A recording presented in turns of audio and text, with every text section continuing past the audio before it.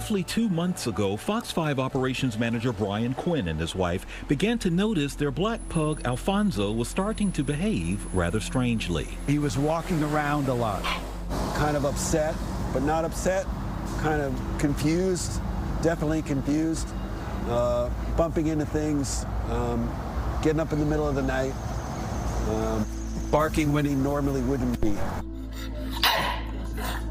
So they recorded video to show the vet of Alfonso's odd behavior. And what was thought to be perhaps further signs of aging turned out to be anything but. Alfonso has dementia. It's a little bit shocking uh, when you first hear about it, and people tend to like giggle about it a little bit, but then you realize, no, it's a real thing. The signs are always very insidious. In other words, they come on slowly and gradually. Dr. Jerry Klein says dementia in dogs is being diagnosed more and more nationwide. A diagnosis that's both tough to deliver and tough to hear. Some people are not surprised because they've had dogs experience this.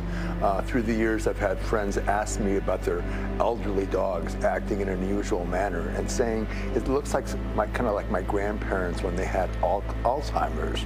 And in reality, this is uh, the term for it is a canine cognitive disorder. Doctors use the DISHA system to help determine canine cognitive disorder or CCD, disorientation interaction meaning the lack thereof, sleep cycles that have suddenly changed, a frequency in house soiling incidents for dogs already housebroken, as well as anxiety, sometimes to the point of aggression.